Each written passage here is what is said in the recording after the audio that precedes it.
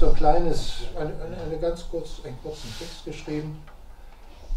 Und ich hoffe, das kann die ganze Sache jetzt ein bisschen auflockern.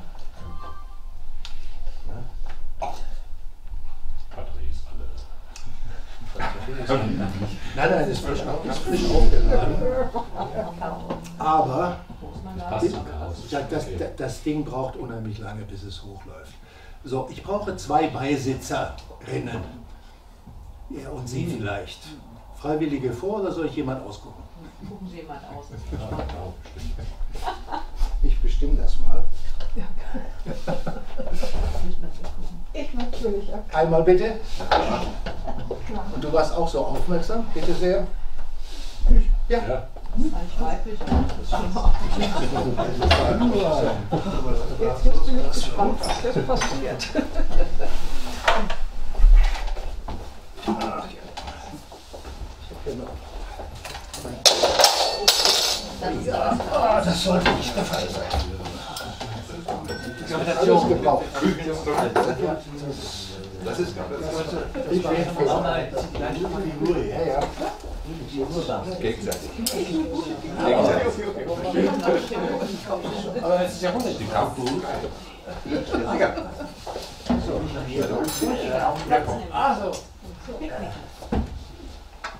Jetzt bin ich aber gespannt. Bitte Platz zu nehmen. Aber gleichzeitig hat der Kartoffelschauber da auch die Erde.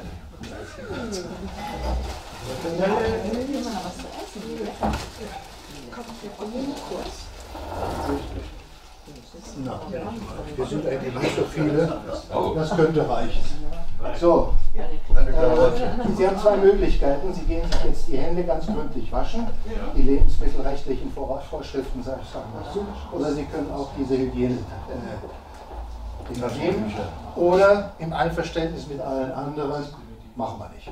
Handschuhe. Handschuhe. Entschuldigung. Handschuhe. Ja, bitte.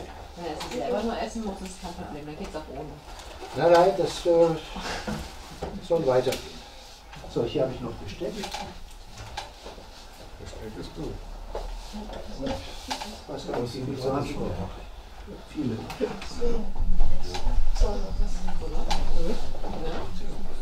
So, und hier. Das ist schön. So. Möglicherweise könnt, wahrscheinlich können Sie auch zuhören, wenn ich jetzt ein bisschen was vorlese. Äh, machen also Ihre Aufgabe ist es, bitteschön. Sie schälen diese Möhre und schneiden sie in gleiche Teile und sehen, dass das also für jeden eins da ist. Mal Helfen. Ja, ich habe noch mehr Möhren. Ich bin noch nicht. Nimm noch was. 15 Seiten, also nur so kleine Stückchen. Ja, klar. Äh, hier die Spieße aufspießen. Und Sie öffnen das hier bitte und verteilen ebenfalls Also das und das. Jawohl, jeweils ein solches Söhnchen und ein solches Teil, jeweils mit einem okay. in so einem Becher.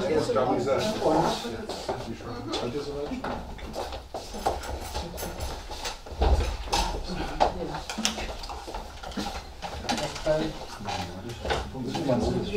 Doch, jetzt Ich habe zu viel Finger. Das hat schon mal funktioniert.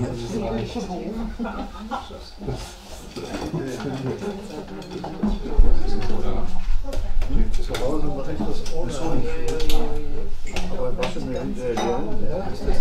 So, also das muss man jetzt. Ja? Das kann ich machen. Ja. Ja, ja, das, das ist eigentlich gut. Ja, Ja. kann man erstmal. Käsebällchen.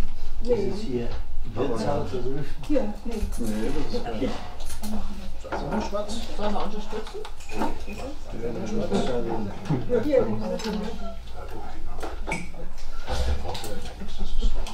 Der Klassiker.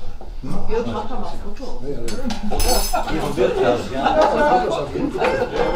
Das muss Von der Frau mit den Gummihandschuhen auf jeden Fall. Ja.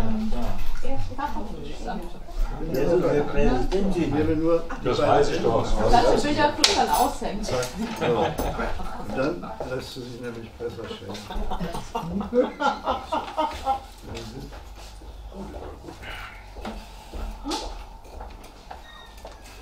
Das ist- das sind doch keine zwei, doch zwei Stunden her, dass ich das zu Hause gemacht habe. Dann, dann habe ich ja den richtigen Könnt ihr auch mal kurz hochgucken ein bisschen? Sehr schön.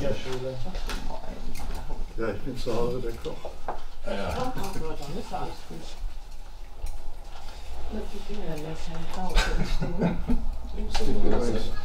Bessere Gesellschaften. Aber das ist ja nur geborgen.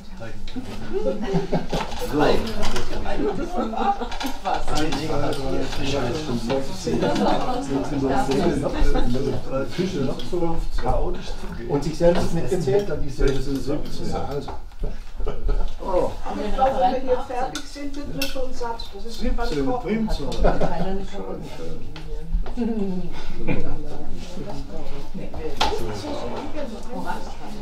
Brauche ich nicht mehr. Weil ich fasse das ja nur so an, während ich Ledigungsansicht Das Ding ist stumpf, darf ich mal bemerken.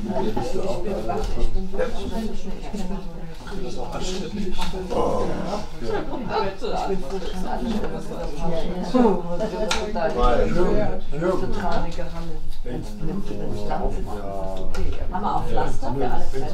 Wenn ich das hätte ich mal eigentlich. Ich finde das am geilsten diesen Gummihandschuhen. Das hat schon so ein bisschen was Sexistisches. Das war meine Forderung, Entschuldigung. Wie haben wir jetzt? Also, zwei sind fertig. Auch bei der Bäckerei mal. Nicht zu viel. Soll man helfen beim Servieren oder nicht? Sie können sich gerne einbringen, aber bitte, bitte noch nicht aufessen, erst äh, nach einer kleinen Vorgeschichte. Okay, wir lassen einfach nochmal arbeiten. Wie ist denn das? Haben wir, haben wir äh, ein Tablett oder was? Ich habe hier ein Tablett, ja. Wie stelle ich das hin? Ja. Genau, Herr Dr. Arbeit. So, erst mal wieder damit ran. Wir warten auch so lange.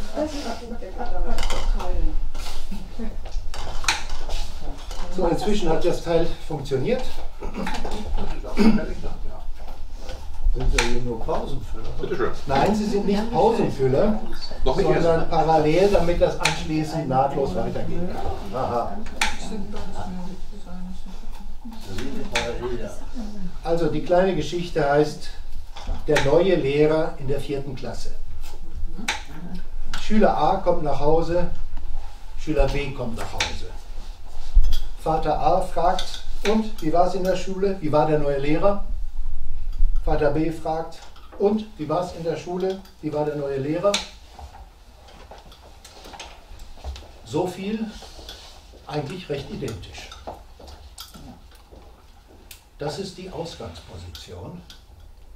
Und es geht jetzt weiter. Schüler A antwortet, ganz nett, wir haben eigentlich nur gespielt. Schüler B antwortet, ganz nett, wir haben eigentlich nur gespielt. Sag, stopp. Ne? Vater A, was soll das? Zeig mir mal das Buch, was habt ihr durchgenommen?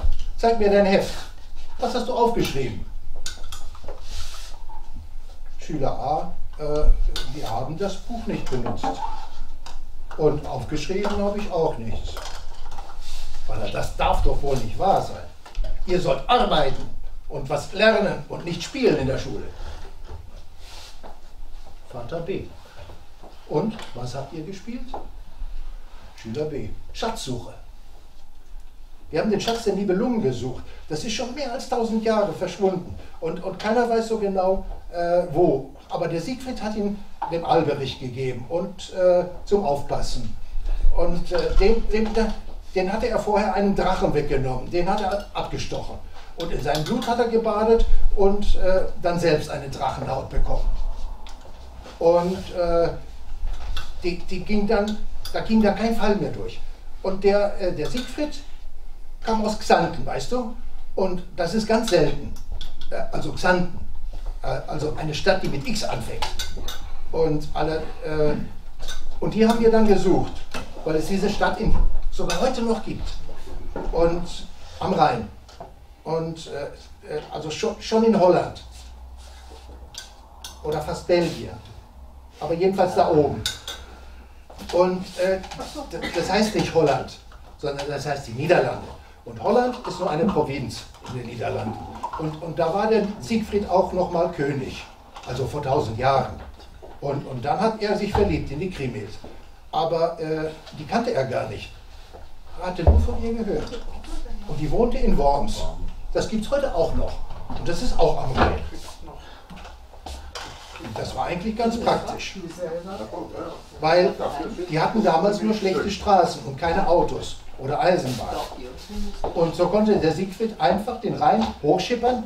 Äh, wusstest du, dass der Rhein verkehrt rumfließt? Also von unten nach oben, also auf der Karte jedenfalls. Aber das scheint nur so, weil der Rhein aus dem Bodensee kommt. Und der Boden, der liegt höher als die Nordsee. Und der Gunther, also der Bruder von der Kriemhild, der wollte die Brunhild haben. Aber er traute sich nicht, äh, weil die so stark war. Und äh, nur einen Mann haben wollte, der sie aufs Kreuz legen kann. Und äh, das musste dann der Siegfried für ihn erledigen. Und der war ja super stark. Und äh, dann sollte er als Belohnung die Kriemhild kriegen. Und dann haben die die Brunhild ausgetrickst. Der Siegfried hatte eine Tarnkappe, die unsichtbar machte. Und hat dann zusammen mit dem Gunther die Brunhild aufs Kreuz gelegt. Aber das ist nur ein Märchen, also eine Sage. Äh, wahrscheinlich hat sich der Siegfried nur als Gunther verkleidet, denn die Brunhild konnte, den, kannte den Gunther ja auch nicht. Aber dann haben sie doch alle geheiratet. Also der Gunther, die Brunhild und der Siegfried, die Kriemhild. Und dann haben sich die zwei Frauen gezickt, weil die Brunhild sagte, sie sei mehr wert als die Kriemhild und äh, dass sie dass sie zuerst in die Kirche darf. Und die Kriemhild erst hinterher. Und dann war die Kriemhild stinkig und hat ihr erzählt, dass sie ausgetrickst worden ist und dass sie eigentlich der Siegfried sie aufs Kreuz gelegt hat. Und äh, dann war die Brunhild stinkig. Und dann hat der Hagen gesagt, nein, sie hat dem Hagen gesagt, er soll den Siegfried umbringen. Und das hat er dann auch gemacht. Und dann war die Kriemhild so wütend, dass sie Attila, äh, das war der König der Hunnen, äh, in Ungarn oder da in der Gegend äh, geheiratet hat, unter der Bedingung, dass er die ganze Sippschaft von der Brunhild abmurkst. Das war dann richtig Krieg. Das hat auch der Alberich äh, irgendwie mitgekriegt. Und der sollte ja auf den Schatz aufpassen. Und dann hat er den Schatz irgendwo in den Rhein geworfen. Weil er sollte nicht in falsche Hände fallen, jetzt wo der Siegfried tot war. Und wir haben jetzt rausgekriegt, dass es irgendwo zwischen Worms und Xanten sein muss. Aber da kann man nicht einfach langschippern und buddeln. Denn der Rhein, der ist jetzt gar nicht mehr da, wo er mal war. Äh, wie vor tausend Jahren. Ne? Die, die, haben immer wieder, der hat immer Abkürzungen genug genommen und dann wurden neue Wege gebuddelt oder Überschwemmungen oder so und der Rhein hat jetzt einen ganz anderen Weg gesucht. Hast du gewusst, dass ein Fluss in der Kurve bremsen muss? Und dass man die Schiffe an die Leine genommen hat und am Ufer auf einem Trödelpfad von Menschen und Eseln gezogen hat? Äh, wahrscheinlich wird man den Schatz nie finden. Und vielleicht hat es ihn ja auch nie gegeben. Und alles ist nur ein Märchen.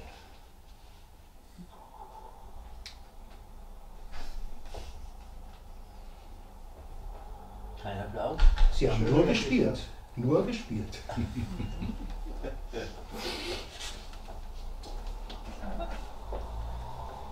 Ist das Abendessen bereit?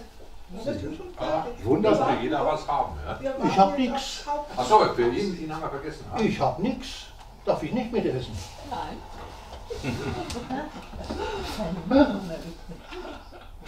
So, Doch, das hier.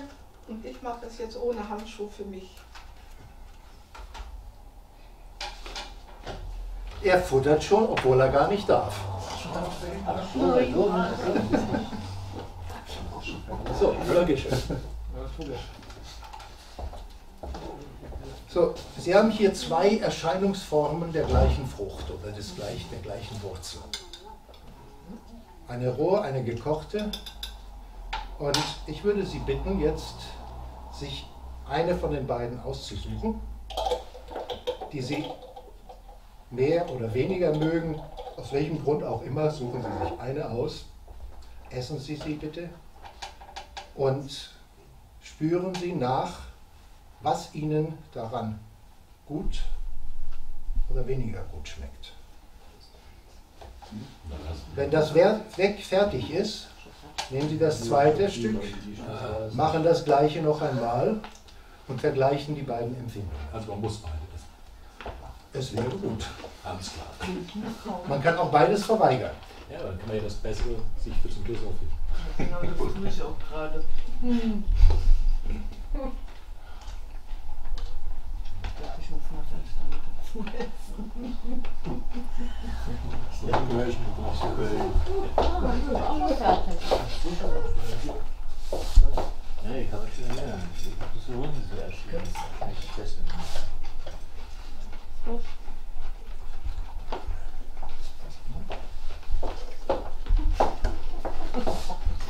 besser. Hat nicht gereicht, gell? Ja, willst du noch? Du lieb von mir.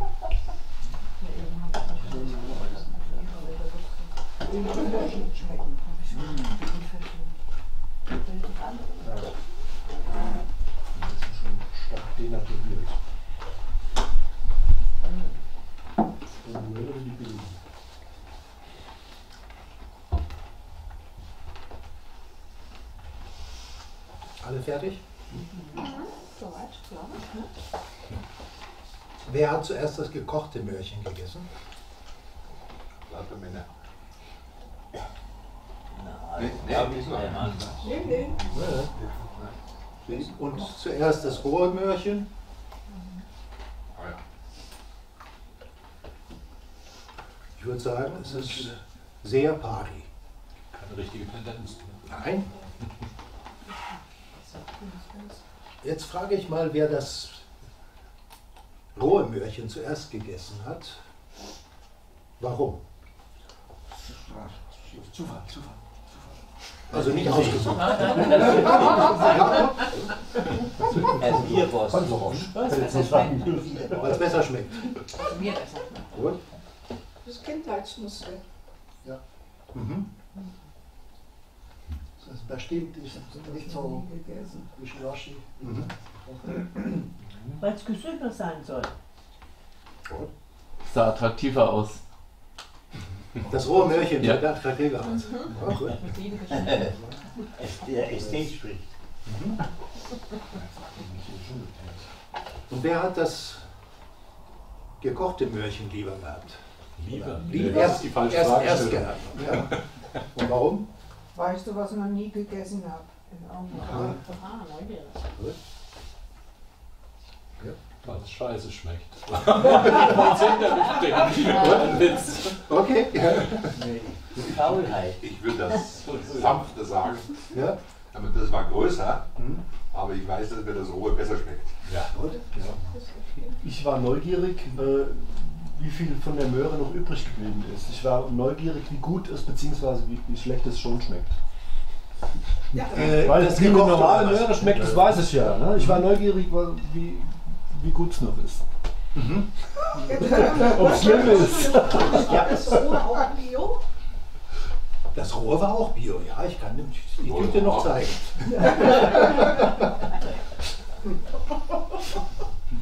Das war Ja. nicht entscheidend, Moral von der Geschichte. Die, nein, es gibt keine Moral. Es gibt keine Moral. Nein. Äh, das sind jetzt im Grunde genommen Fragen, gut, zum Teil haben Sie sie ja beantwortet mit Kindheit, aber äh, das Gefühl, noch nie eine ge gekochte Möhre dieser Art gegessen, Aus Neugier, Glas. ausprobieren. aus dem Glas. Äh, das sind ja gewachsene Impulse. Nicht jetzt nur aus dieser Situation, sondern es ist einfach die Reaktion auf diese Situation, das schon. Aber diese ganzen, diese Reaktion hat ja eine Geschichte.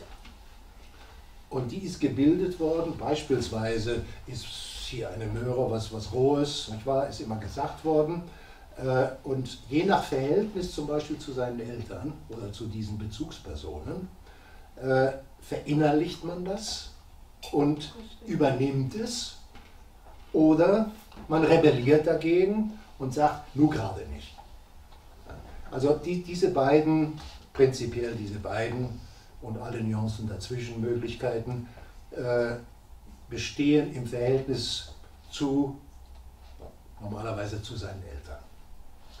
Und was interessant ist, versuchen Sie mal jetzt dieses Erlebnis jetzt eben,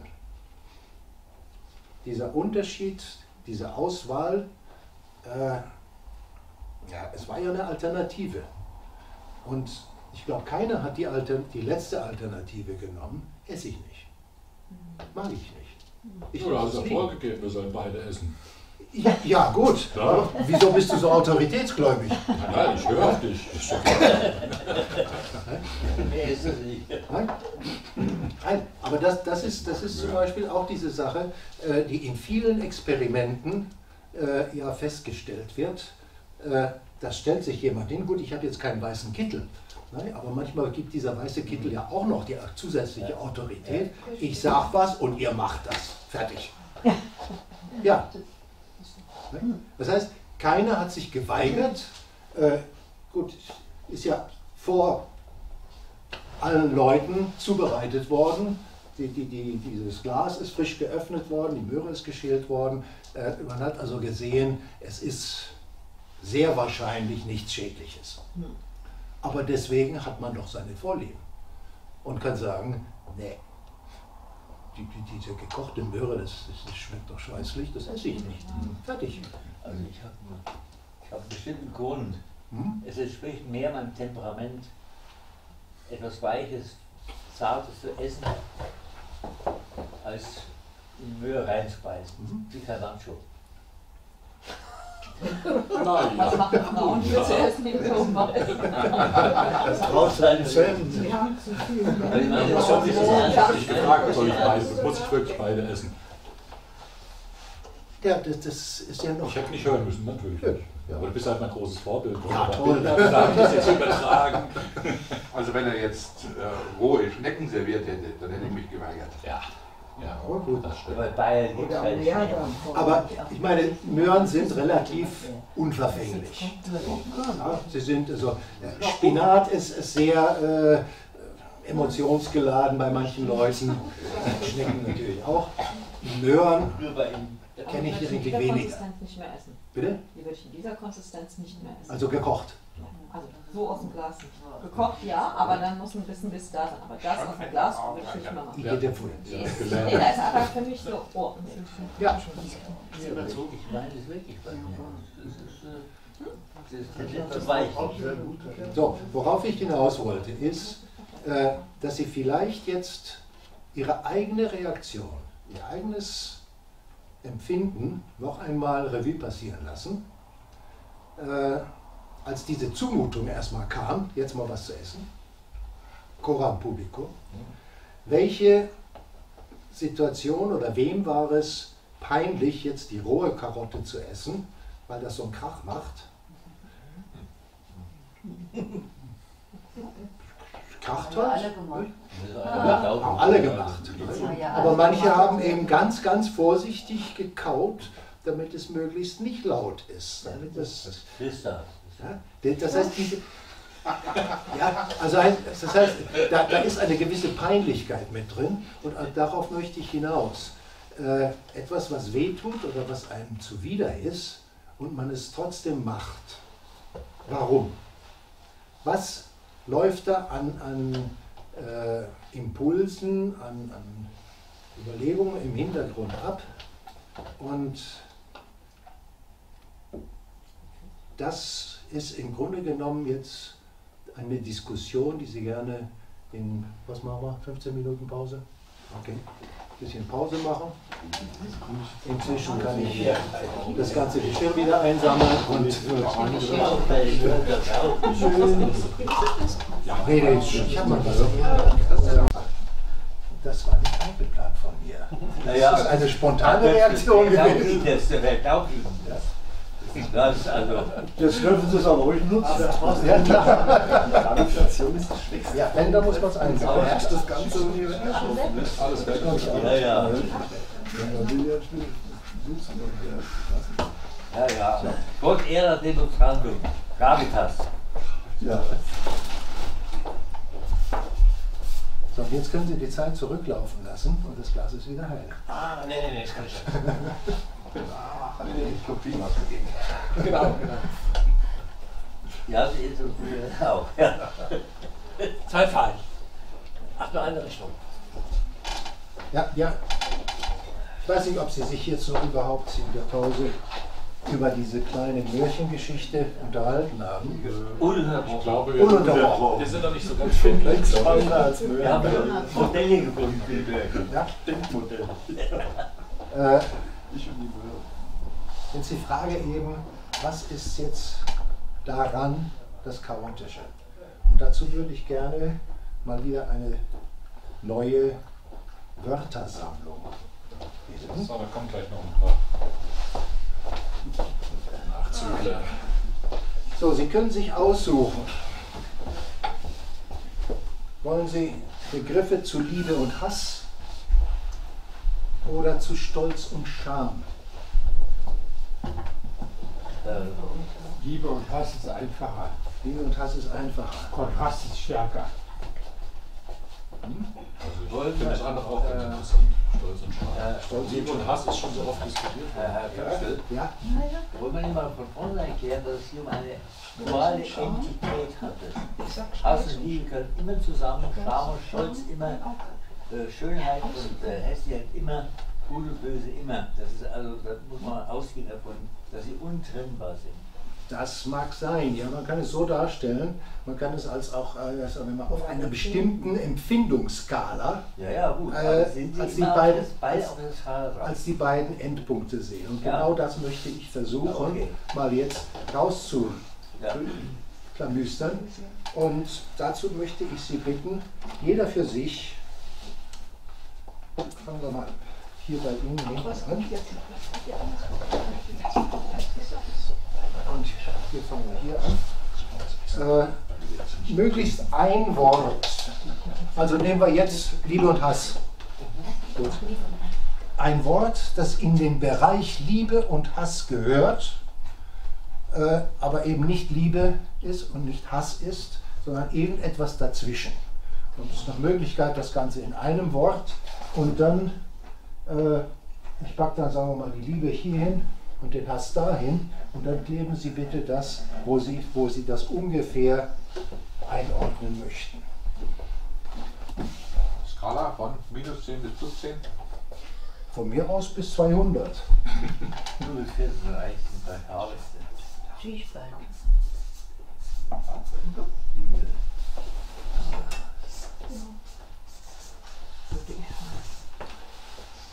Was sollte man das nicht?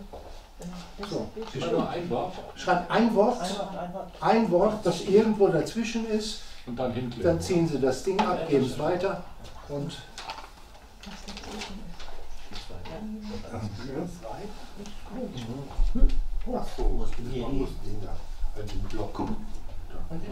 wenn das Wort zu lang ist, nehmen Sie einfach zwei Seiten und, und schreiben es halt über zwei. Das ist, es sind genügend Zettel da. Man sollte es noch lesen können. Da fängt das Problem schon an.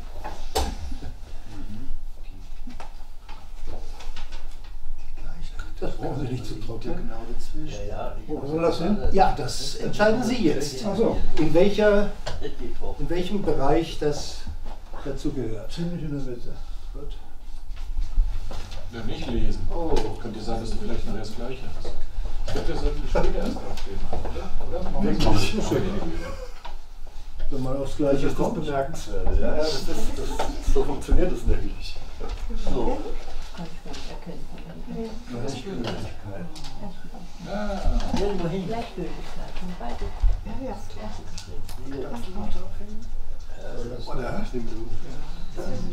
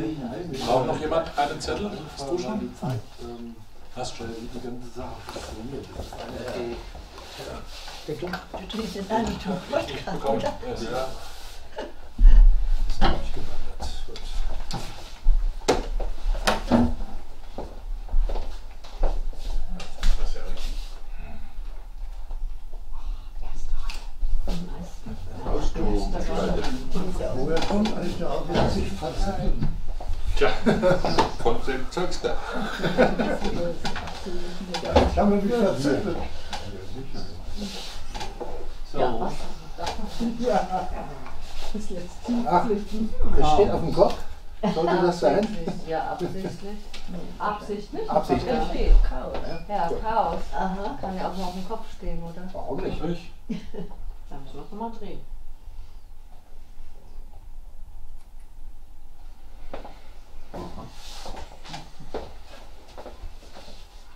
Haben wir auch die Beweise gesichert. irgendwie das. Also zu, hier haben wir zweimal einmal Gleichgültigkeit, zweimal Abneigung, Verachtung. Was ist das? Gleichmut. Dann Gleichgültigkeit. Zwiespalt, sehr weit oben. Also oberhalb von der Mitte. Da hätte ich gerne eine Erklärung dafür. Wer war das? Wer war das? Outen. Hm? Muss ich auch. Hoch. Wer ist der Zwiespalt? Ich. Ach, die Helga.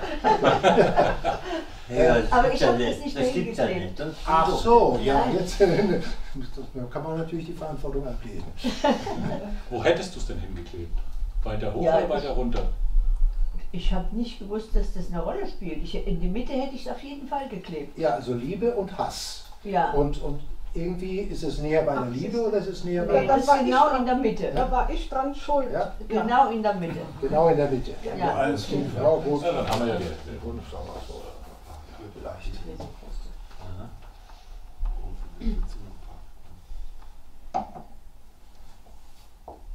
Zuneigung, Herzlichkeit, Zärtlichkeit. Äh, kann man das jetzt nochmal aufteilen? Und jetzt kommt nämlich Ihr äh, Einwand nach dem Geist. Äh, wenn ich jetzt Liebe und Hass als seelische Regungen ansehe, müssen die sich ja auch irgendwie äußern. Und wenn wir die Seele so als, als äh, irgendwie so etwas nicht Stoffliches sehen, äh, muss es sich im Stofflichen, sprich im Körperlichen oder im Geistigen widerspiegeln. Und was würden Sie jetzt sagen, bei diesen Definitionen gehört mehr in den körperlichen Bereich und was ist mehr im geistigen, sagen wir mal im übertragenen Sinne. Also Zärtlichkeit ist wahrscheinlich eher körperlich. Nein, das ist nicht ganz richtig. Naja, Äh, könnten auch äh, Gedanken sein. Man kann Ja, es nicht trennen. zweifellos. Man kann es nicht trennen. Naja, bisschen schon. Aber in- Man kann es schon sortieren. So ein In bisschen. Wir können es mal probieren. auch nicht Zu, zu, ja, äh, ich meine, da, da, da ist im Grunde genommen ist, ist da schon die, die ganze Problematik mit drin, äh, dass man einzelnen Dingen nicht eindeutige Hm. Zuordnungs- oder Bereiche zubelegen kann, Plätze zugeben kann.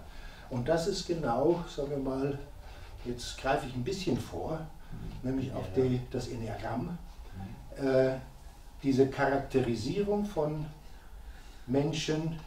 Ja, ja. Und die Charakterisierung betrifft nicht den Charakter, sondern die Persönlichkeit. Die Persönlichkeit, die sich erst entwickelt und da als wesentlicher Punkt, angefangen von, von kleinster Kindheit, wie muss ich mich meiner Umwelt zeigen oder mitteilen, damit ich überleben kann. Kannst du das nochmal ganz kurz differenzieren mit Persönlichkeit und Charakter? Das ist mir jetzt nicht ganz klar geworden. Die, der Unterschied zwischen beiden. Äh, ich würde sagen, ein Charakter ist etwas, was in dir steckt, äh, was, was äh, ein, eine Grund, Psychogramm oder ein, nein, es ist kein Psychogramm, es ist ein, eine Grundvoraussetzung, die dein, sagen wir mal, dein, ganzer, dein ganzes Wesen ausmacht, aber nicht von irgendwie anderen Dingen beeinflusst wird. Die Persönlichkeit ist etwas, zu dem du wirst, indem du dich entwickelst. Also, ja. Charakter ist genetisch oder so. Das, Char- der Charakter ist eher was, was ja, eher etwas Genetisches, äh, etwas, äh, Aber neutral natürlich. äh, ja, es, es ist eigentlich auch neutral. Ja. Angelegt. Nicht? Äh, es sind, sind ganz, ganz viele Versuche gemacht worden, äh, die, die Charaktere von Menschen zu definieren aufgrund des Körperbaus. Ja. Nicht? Aber, ne, was weiß ich, oder aufgrund ihres Verhaltens, was weiß ich. Da gab es dann den Choleriker und das andere war dann der Pykniker und der nächste war äh, äh, also mehr so, so körperlich betonte. Also es hat nie so richtig funktioniert. Und äh, das ist also, sagen wir mal, der große Unterschied zu, zu dem, zum Enneagramm. Es legt nichts fest. Es, es gibt nur eigentlich nur solche Varianten, zum Beispiel sowas. Und dass man feststellt, es gibt so eine Art Archetypen, äh, aber nur als Typus, nicht als Mensch. Weil kein Mensch entspricht irgendeinem Archetypus. Man kann nicht nur böse sein oder nur gut oder nur irgendwas. Ja? Man ist ja immer, immer irgendwie ein, eine Mischung aus, aus Empfindungen und direkten Einflüssen, auf die man irgendwie reagiert. Und genau dieses chaotische System, und jetzt komme ich nämlich auf den, das, das Deterministische im Chaos. Hinterher kann ich genau verfolgen oder weitgehend verfolgen, wie ist dieser Zustand entstanden. Aber wenn ich jetzt von dem Zustand hier vorher ausgehe, kann ich nicht sagen, ich werde diesen Zustand jemals erreichen. Ja.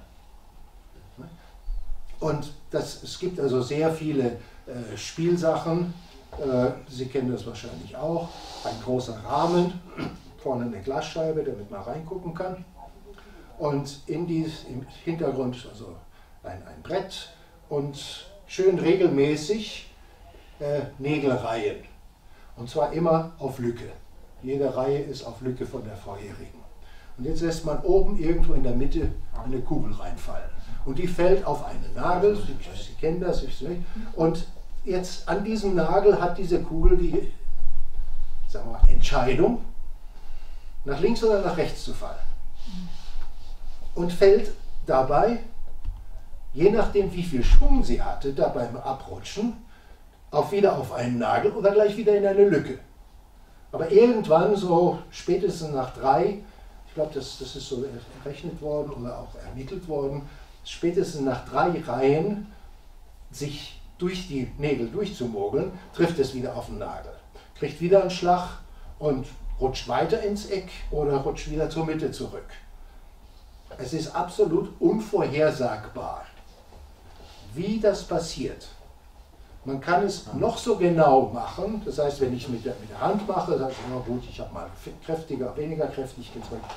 Ich kann es mit einer ganz präzisen Maschine machen, die diese Kugeln fallen lässt. Und es wird immer eine sogenannte Gaußsche Kurve entstehen. Also eine sogenannte Normalverteilung. Alle Extreme sind möglich. Die Mitte hat die größere Wahrscheinlichkeit. Ist klar, es wurde ja auch in der Mitte losgelassen. Und genau so ist, sagen wir mal, wir können jetzt also jeden einzelnen dieser Nägel als markante Punkte in unserem Leben sehen, an denen irgendetwas passiert ist und ab da hat sich das Leben manchmal nur ganz wenig, manchmal auch radikal verändert. Und diese Veränderungen, ja, die waren nicht immer nur der freie Wille. Manchmal wurde man in eine Situation geworfen, äh, für die man nichts kann und mit der man aber umgehen muss. Und da auch wieder, auch da ein kleiner Vorgriff auf das Enneagramm, es gibt nur einen einzigen, sagen wir mal, Urimpuls. Und das ist das Leben wollen. Und alles, was das Leben bedrohen könnte, muss irgendwie bewältigt werden. Und dass das Leben bedroht wird, das spüren wir. Aber womit? Mit der Angst. Und da ist das Deutsch sehr, sehr differenziert und unterscheidet zwischen Angst und Furcht. Das machen nicht alle Sprachen. Spanisch kennst du auch. Miedo und Temor. Kierkegaard hat zum Beispiel unterschieden. Hm? Angst und Furcht hat Kierkegaard unterschieden. Sören Kierkegaard ja. hat Angst und Furcht unterschieden. Und dies, dieses, diese Lebensangst, äh, das ist klar definiert, der Kierkegaard. Kann, kann einen ganz vollkommen lähmen, dass man also unfähig ist, etwas zu tun. Es kann aber auch Ansporn sein. Und je nachdem, und da ist jetzt eine Frage der eben, wie die einzelnen Archetypen mit dieser Lebensangst umgehen und wie sie sie umsetzen. Der eine, der äh, sagt, also ich muss einfach ganz, ganz lieb zu allen sein und dann werden sie mich auch lieben. Und diese Liebe hat, wie hier, unterschiedliche Stufen. Es kann wirklich Zuneigung sein oder es kann Freundschaft sein. Äh, es gibt aber auch, und das fehlt mir hier im Grunde genommen, diese Klammerliebe, ja, die, die manche Mütter haben, die ihre Kinder nicht loslassen können. Aber auch in einer Partnerschaft, mhm. wo also so merkwürdige Dinge wie du liebst mich nicht mehr als Vorwurf dargestellt wird. Ja? Es kann sein, dass man jemanden nicht mehr liebt, das passiert. Und äh, einem tut es mehr weh als dem anderen. Aber es ist nicht unbedingt eine Sache, die ich fordern kann. Ich kann keine Liebe fordern. Ja? Und das wäre also, ja, wo, wo würde man so eine Liebe unterbringen? Hörigkeit wäre auch so ein Hörigkeit, ja, ist, ist, das ist jetzt also die, die, die, die ist auch ein Klammern. Ja. ja. Und, und da ist eben diese Angst, verlassen zu werden. Ja, dieses hm. sich, sich an etwas anklammern, etwas festhalten. Ne? Und das äh, lieber eine, sagen wir mal, total bescheuerte Beziehung, als gar keine. Mhm. Ja? Und, und die, die, dieses Umgehen mit der Angst, dieses Nicht-Loslassen können, ja, sagt unter anderem ja auch sehr viel aus. Das sind dann also, das ist zum Beispiel, es gibt für jeden, es sind neun Typen im Enneagramm und für jeden Typ gibt es ein Schlagwort, das ich doof finde. Darum zähle ich nur. Ich sage Typ 1, 2, 3, 4, 5. Das ist ein bisschen wertneutraler. Das wäre also zum Beispiel dieser Typ 1, der also so als, als, als dominant ist in Richtung, äh, ich liebe euch doch alle, also müsst ihr mich auch lieben. Dann gibt es andere Typen, die sind also mehr so auf, auf Show, also im Grunde verlogene Typen. Ich zeige etwas, was ich gar nicht bin, aber dann werde ich akzeptiert. Es geht ja immer um dieses, ich werde akzeptiert, ich kann durch, ich kann weiterleben. Das ist so ein genanntes Gesellschaftsspiel. Ja, Höflichkeit. Die feine Art zu lügen. Ich weiß Bescheid, du weißt Bescheid und jedem macht es Vergnügen.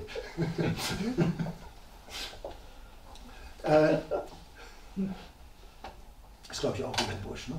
Oder Passt auf jeden Fall. Ja. ja, also ist die, das wären also zum Beispiel Dinge, dass man sich bei diesen beiden zum Beispiel, Zwiespalt und Gleichgültigkeit, äh, in, der, eben in diesem Zwiespalt befindet, ist der, der oder die, mit der ich da zusammenlebe, äh, mir eigentlich wirklich noch wichtig? Und wie zeige ich das?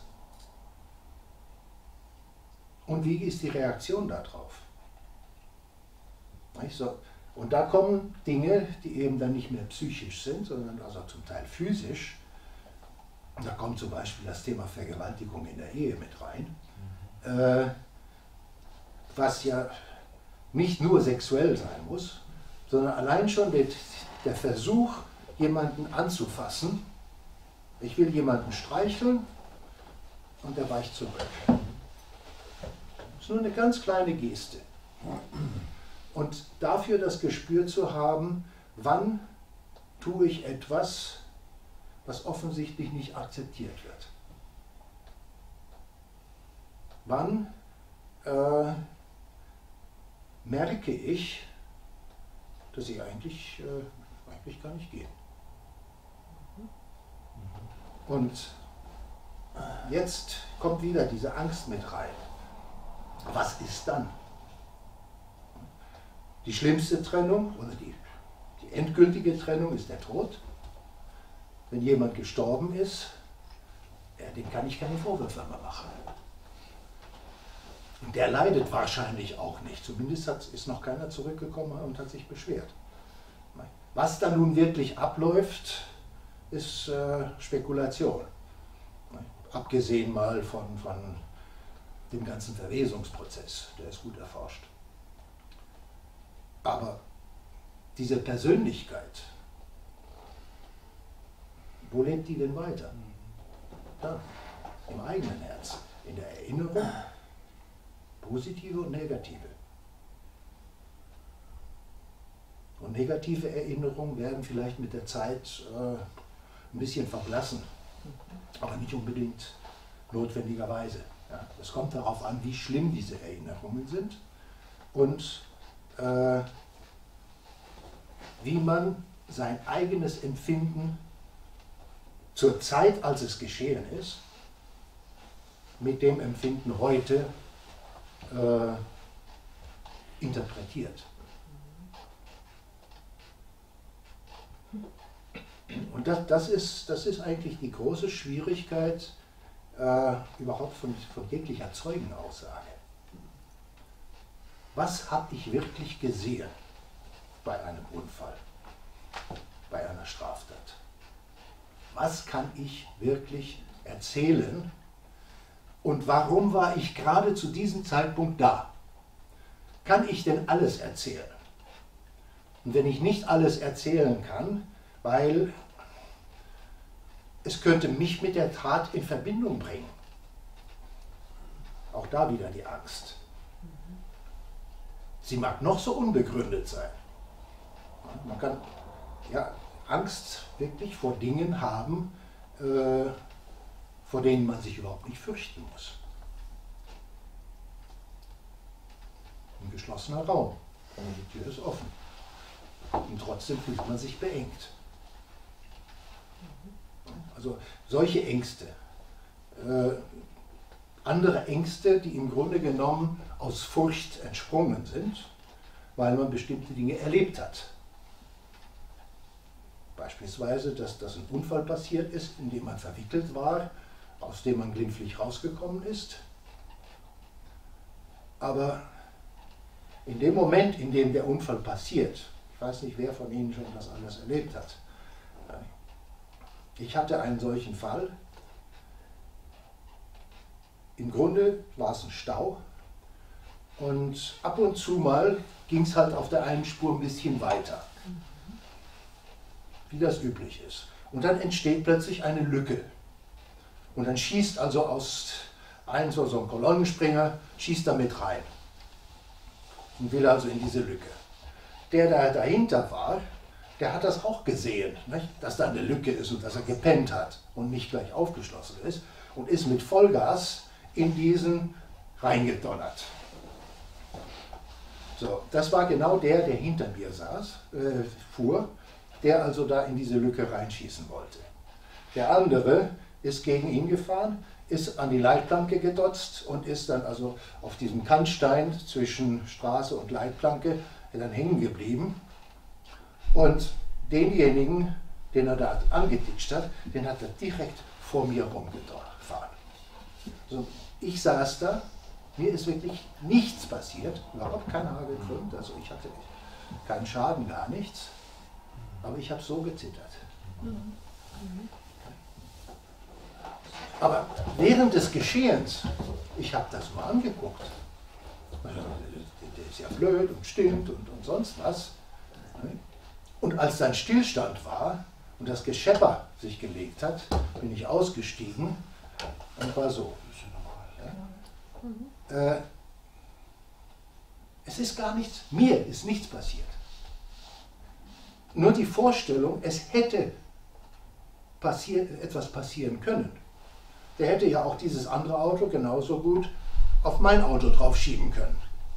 Ist nicht passiert. Was ist das? Glück? Zufall? Die physikalischen Regeln äh, in diesem konkreten Fall haben gegriffen.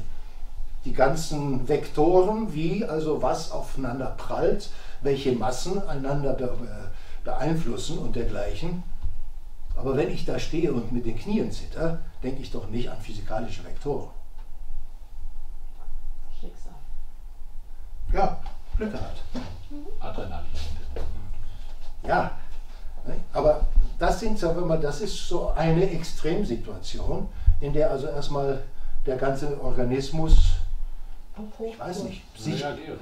sich reagiert. Und das sind sehr, sehr physische Empfindungen, also Reaktionen, aber nur auf eine Vorstellung. Nämlich die Vorstellung, äh, ja, wenn ich Pech gehabt hätte, hätte er das, das Auto in mich reingefahren, wäre ich tot oder sonst was, schwer verletzt, äh, hätte das sonst, ja. Das heißt, nur diese Vorstellung erzeugt diese Angst.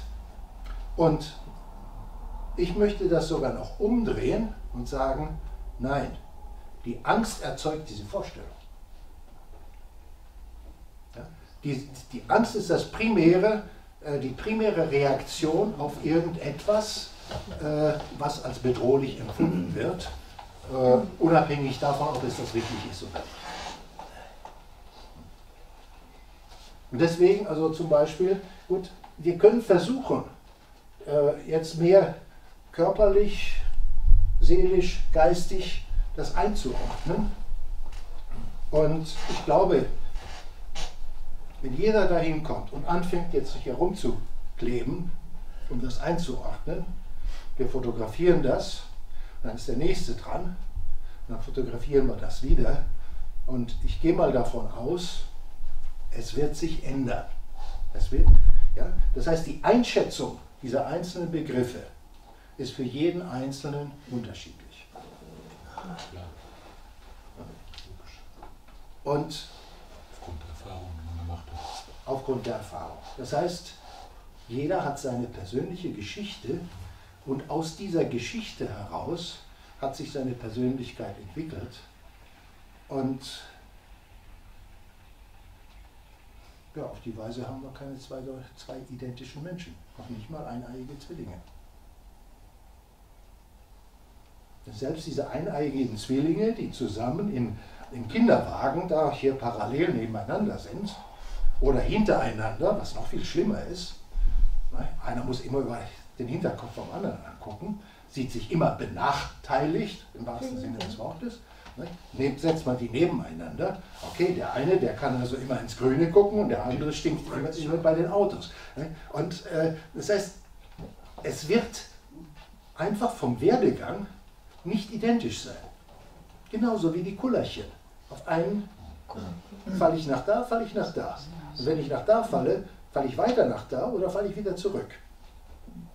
Und, und dies, dieses, dieses Ping-Pong-Spiel, das da stattfindet.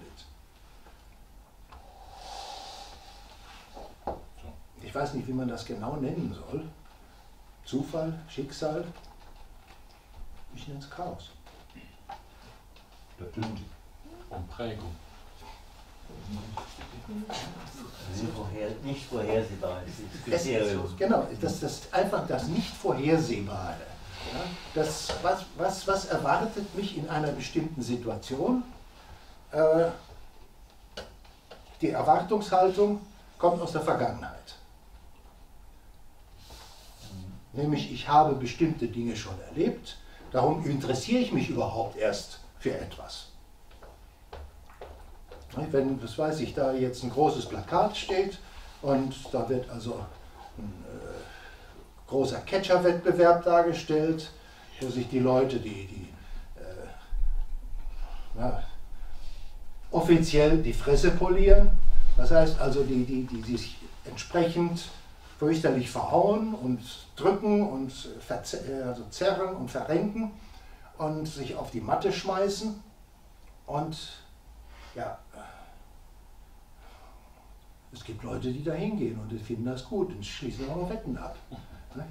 Und das wäre etwas, äh, das kenne ich nicht aus der Natur, aber gut, ich kenne auch eine ganze Menge Filme und Sie haben bestimmt auch schon mal im Film irgendwelche Catcher-Situationen gesehen oder Einblendungen, dass da irgend sowas in dieser Art war. Oder von ja, sogar Nach Nachrichten kommt auch vor. Aber deswegen würde ich zumindest nie in so, in so, so eine Catcher-Veranstaltung gehen. Ja, aber du weißt, dass das Blödsinn ist. Ich, nicht, weil das Blödsinn ist. Nein, da möchte ich auch wieder was ganz Persönliches bringen. Als ich in Peru war, äh, gab es immer in der Oktoberzeit, war Corrida. Corrida ist die Zeit der Stierkämpfe. Und da werden also an, ich glaube, sechs Wochenenden sind das, da werden jedes Mal sechs Stiere abgeschlachtet. Ne? Und das, das war einfach, sagen wir mal, die, die Toreros, die, die, das, das waren Stars ja, die ganzen Veranstalter und die einzelnen, äh, die Ställe, die, die, also die, die Ställe, die Farmen, die diese Stiere züchten und, äh, und trainieren und äh, die also wirklich nur das Schönste vom überhaupt und mit völlig gleichmäßigen Hörnern. Ja, also die Tiere müssen wirklich ein, ein sehr hohes ästhetisches Kriterium erfüllen, ne, um überhaupt zu einem Stierkampf zugelassen zu werden. Ne? Und makellos schwarz müssen sie sein. Nicht? Da nicht irgendwelche äh, gefleckten Kühe da. Nicht? Und, und das, nein, aber das war auch an der Schule, nicht? ja, da, da, da, da wurden also die Eintrittskarten geschachert, nicht? ob man da überhaupt hin kann. Und selbstverständlich bin ich da auch hingegangen und es war überhaupt kein Problem. Nicht? Ja, ja, die Ästhetik, was weiß ich, der Tanz mit der Kappa ja. und der Tanz mit, mit den Banderillas und, und dieser, dieser ganze, äh, das Risiko, das der, der Stierkämpfer aufnimmt. Und äh, ja, also wie, wie sich der Stier verhält und manchmal wurde sogar der Stier ausgebuht, nicht, weil er nicht aggressiv genug war. Und das sind dann Dinge und, und ganz am Schluss, okay, der Stier ist tot und dann kommt, wird die Jury entscheidet, wie gut dieser Kampf